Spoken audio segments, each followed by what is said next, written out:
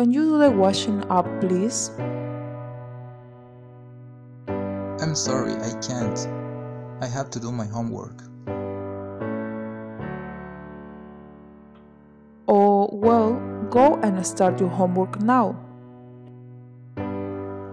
Mom, can I go to the cinema with Amy? later? Sorry, you can't. You have to do your homework. But I haven't got much homework to do.